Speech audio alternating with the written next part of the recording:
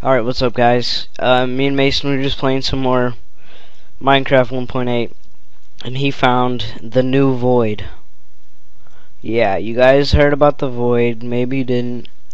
And when you go all the way down past bedrock, it's like, Yeah. It's- yeah, you heard me right. Fucking torch. The lighting is amazing. Oh, there's a mine shaft. There's another one.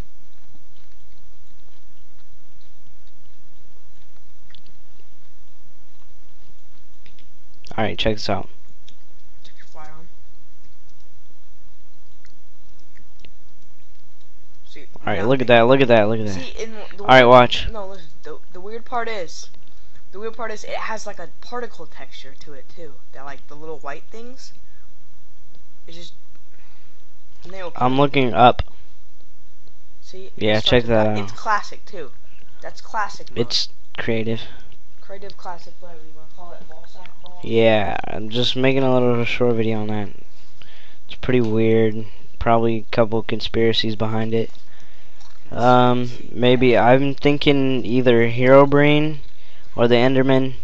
I might make some videos like explaining that too. So I'll see you guys later.